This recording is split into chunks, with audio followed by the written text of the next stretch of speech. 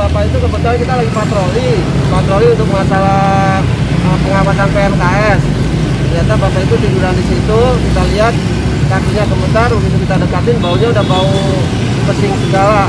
Makanya kita ada inisiatif lapor ke posko, posko COVID tingkat kota, kita koordinasi dengan Sudin Kesehatan.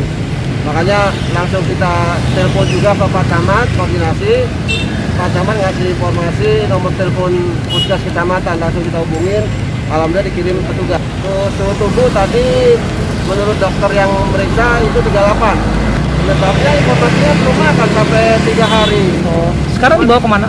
Sekarang rencana akan dibawa ke posko yang di Gor Ciracas yang disiapin untuk eh, isolasi ODP.